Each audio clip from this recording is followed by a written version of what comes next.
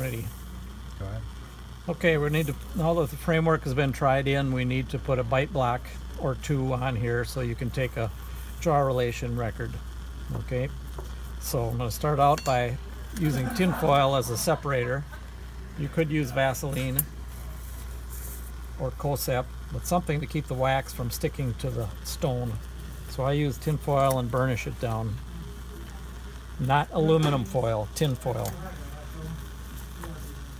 Aluminum foil won't burnish, it will just kind of rip and tear. Okay, so that goes down first, then the framework goes down like that. Now we have to flow wax under the grid work, melted wax, so that this gets locked onto the framework. If you just set the wax on top of it, then the bite block falls off when you go to try it in the mouth. So I got to be sure that I've got this under and through the grid work.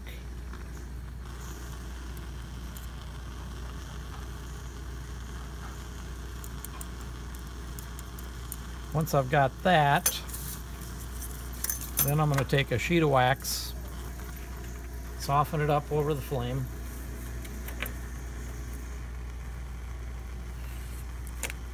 Fold it in two and apply it and press it down onto the cast and onto the grid work. So it's sandwiching the grid work between the two pieces, the two layers of wax or between what I put down there and then this.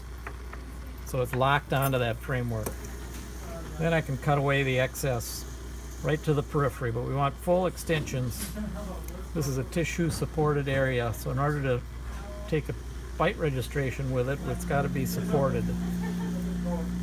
And you can cut right through the tin foil. Extend it to the inside edge of the land area.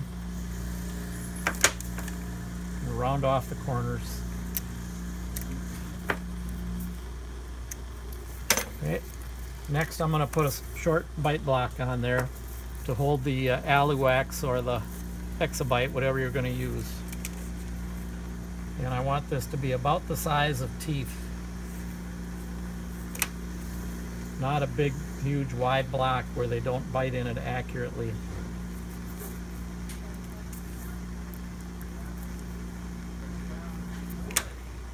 And it needs to be slightly below the occlusal table of the adjacent teeth. So we've got a couple premolars on here, and I know that that's about where the occlusion goes, so I want to be a little bit below that so I've got room for the Aluwax or the Exabite to go on top of this. If you've got this wax block sticking way up to here, you're just immediately going to have to cut it off when you get out to out to the clinic. And I'm just going to add wax and smooth it all out and make it acceptable for the patient to try in.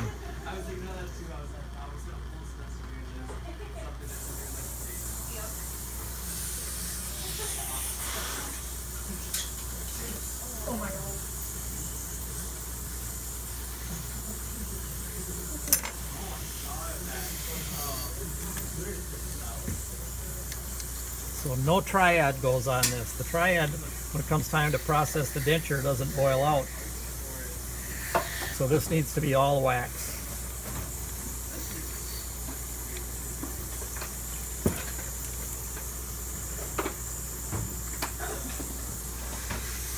Once this wax is cooled, we can re remove the framework from the cast and trim any jagged edges of tinfoil or wax on here.